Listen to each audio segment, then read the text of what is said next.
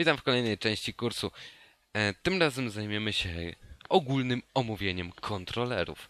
Jak widzieliście w pierwszej części e, pokazałem wam dwa różne kontrolery, e, user i gallery. Napiszmy je, oczywiście tworząc nowy PHP file user oraz gallery. Prawda? Stwórzmy jeszcze sobie główny kontroler, który dostarczy nam widok, czyli taką czystą kartkę. I tu nie możemy jeszcze tego użyć, ponieważ nie mamy widoku.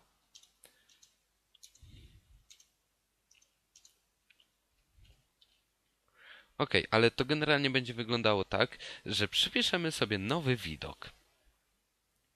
Teraz należałoby zmodyfikować naszą klasę user. CLS user extends controller. Oczywiście musimy stworzyć naszego rodzica, który dostarczy nam kartkę, żebyśmy mogli na niej pisać. To samo stosujemy w galerii.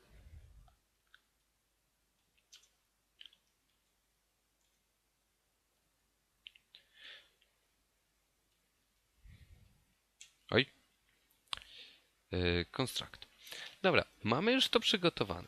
Odświeżamy. Mamy galerię oraz mamy user. Yy, a jak cokolwiek wpiszę, nie może tego wywołać. Yy, zapobiegnijmy może takiej sytuacji. Otwórzmy sobie nasz router i zróbmy sobie tak. File.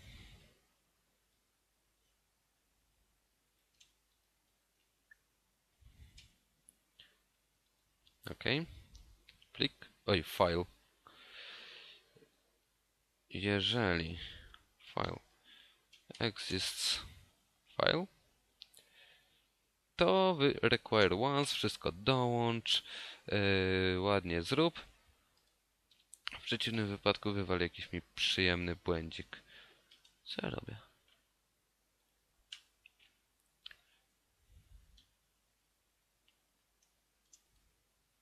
Nieznana metoda. I dobra. Nieznana metoda. Świetnie. Czyli, oj, jeżeli e, nie znajdzie nam nawet tutaj, e, może tak. E, jedną rzecz trzeba zrobić. This, o Jezu, this request jest rtrim to nam utnie jeden znak. E, to oznacza, że utnie nam oto. Tego nie będzie, więc nawet jak ktoś napisze, to to utnie. I teraz tak.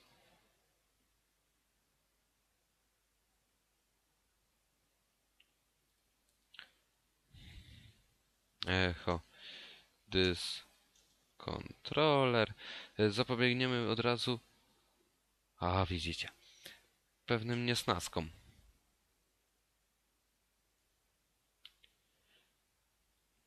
Nieznana metoda. Ciekawe dlaczego. Yy, dobra. Chciałem naprawić błąd, który sam stw sobie stworzyłem. Musimy stworzyć jeszcze jeden kontroler nazwany index ponieważ y, to będzie nam taka główna strona CLS index. Ojejku, index extends oczywiście controller.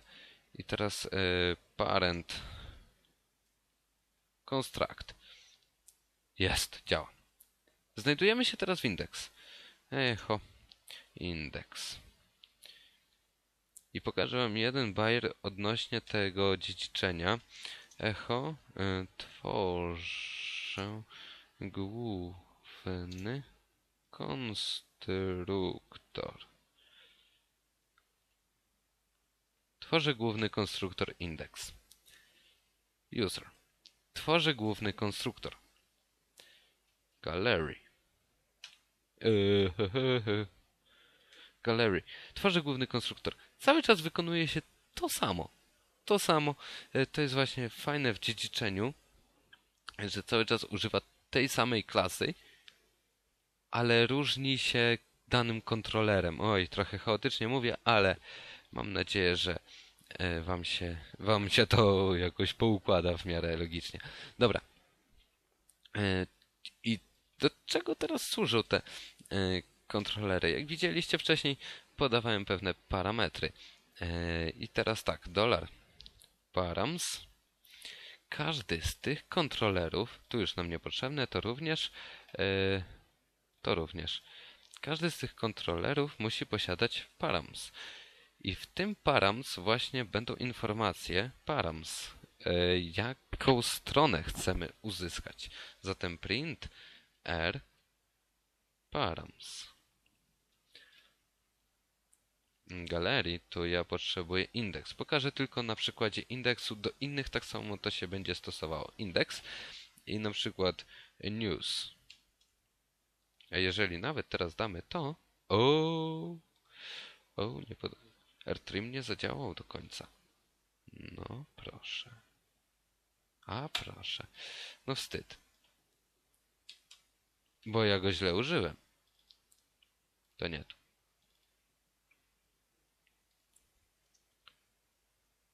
Da się tak?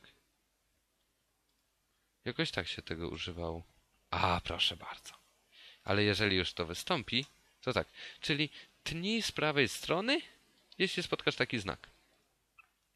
Dzięki temu, wiecie, nie, nie, nie pojawia mi się tutaj dodatkowy indeks i skrypt mi nie wariuje. Jeśli ktoś niepoprawnie trochę wpisze adres URL. To jest takie zabezpieczenie. Dobra, tak czy siak. Chcę pobrać newsy. Napiszmy sobie tutaj y, prywatną funkcję,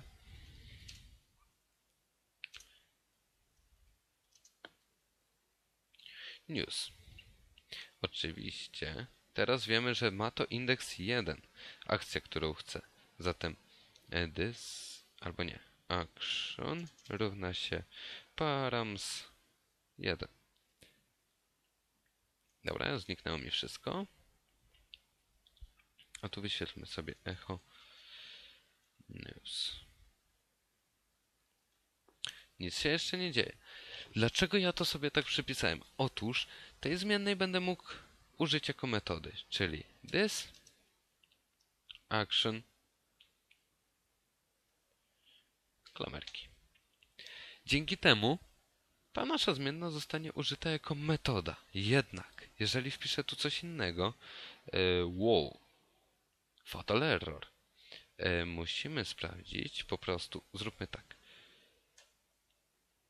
action równa się news.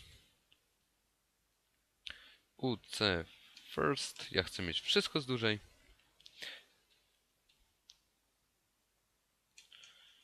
Nasza akcja to będzie metoda z dużej. E, to zostawiamy sobie na sam koniec.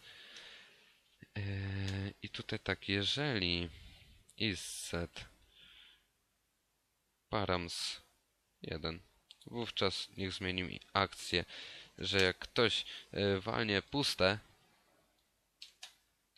to żeby wraz mi wywaliło e, newsy. W przeciwnym wypadku niech wywali mi błąd.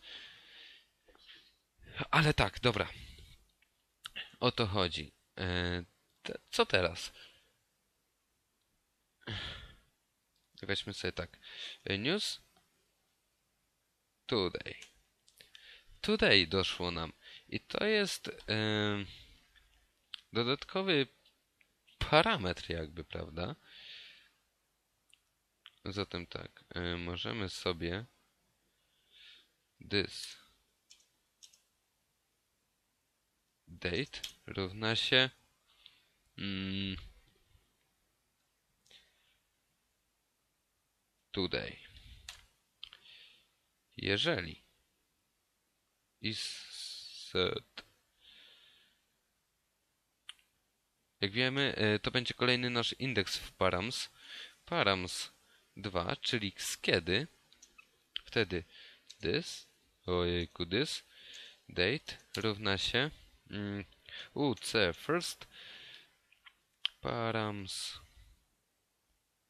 2 date. this date. E, Tu się jeszcze z tym nic nie dzieje, ale możemy sobie wyświetlić news y, date. To jest konkretnie spersonalizowany kontroler do obsługi newsów. Przyjmuję sobie, że po kolei będzie stosował tak, że to jest mm, nasz kontroler, ok, już się jego nie czepiamy, ale że to jest metoda, która pobierze nam wiadomości, natomiast to jest parametr z którego dnia. Na przykład jeszcze można by dorzucić e, kolejny e, today morning, które pobierze nam z rana.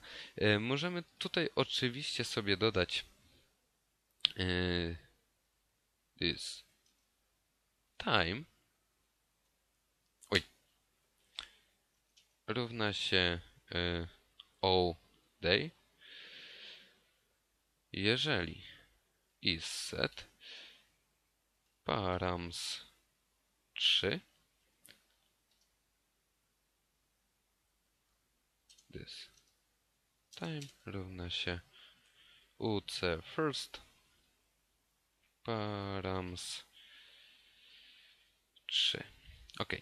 I tu kolejny parametr możemy sobie this time przekazać.